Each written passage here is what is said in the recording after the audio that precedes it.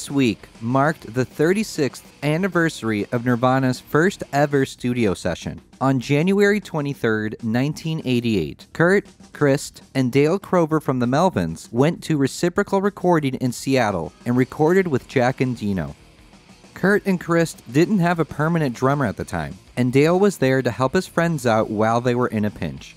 In this video, I'll be attempting to recreate Kurt Cobain's guitar tone from Nirvana's first recording session. In this lightning fast session, they recorded and mixed 10 songs in 6 hours. The resulting tape that the band left with became known as the Dale Demo. According to Endino, they would have recorded two more songs, but they weren't able to due to lack of time. The band had a show in Tacoma that same night at the Community World Theater. After they completed their first recording session, they sped off to the show and played the same songs they had just recorded in the same order. Endino was so impressed with what he heard that he ended up making his own mix of the session for himself. He passed out copies of those mixes to his friends, one of them being Jonathan Poneman, who had just founded Sub Pop two years prior with Bruce Pavitt. Jonathan being given this tape eventually led to Nirvana signing a record deal with Sub Pop. Three of these songs were put on Bleach, and five of these songs ended up being released on Incesticide. Two of them were later released on the With the Lights Out box set, and at the time of recording this video, the only song from this session that hasn't had an official release is Spank Thru.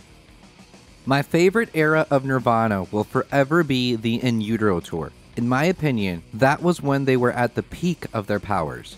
But if I had to narrow it down to just studio recording sessions, the Dale demo would be my favorite. This is an unhinged and chaotic side of the band that we don't really hear again. Also, Dale is my favorite drummer, and I'll always wish that his time in Nirvana was longer.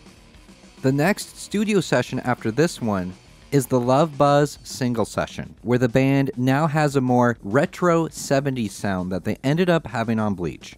That is how Kurt Cobain himself described it in this interview that took place after Live and Loud. He says there that there should have been an album before Bleach, with re recorded Fecal Matter songs and with the Dale demo Incesticide songs. He explains That was a period of our band. That was our progression. We were really into experimental, noisy. Most of the stuff on Incesticide should have come out before Bleach, really. It would have been a lot more like Incesticide. But we just happened to write so many songs that we just put it on Bleach. They just happened to be in the more 70s vein.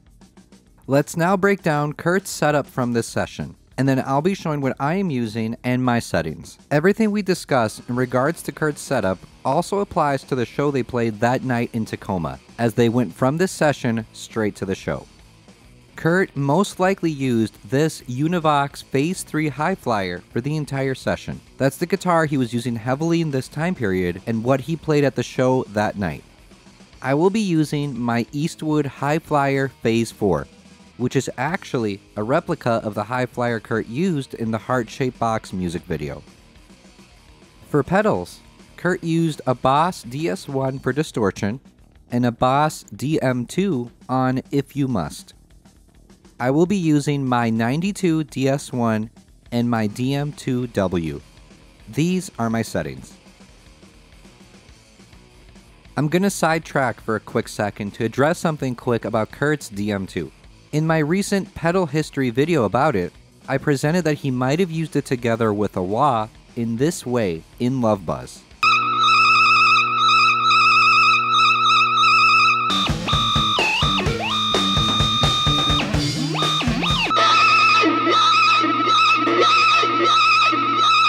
I right away had comments on that video pointing out that it's most likely that he actually achieved this sound by messing with the intensity knob, like this.